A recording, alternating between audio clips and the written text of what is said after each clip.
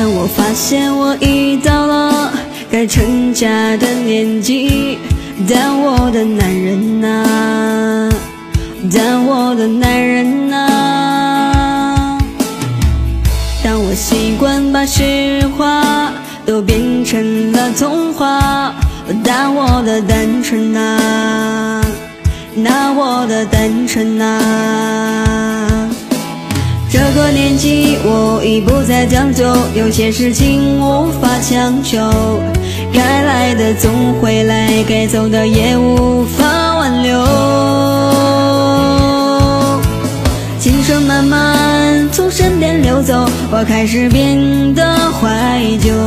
喝光了这杯酒，就再也无法回头。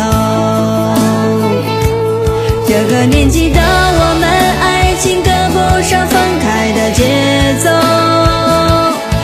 这个年纪的我们，更珍惜难得的自由。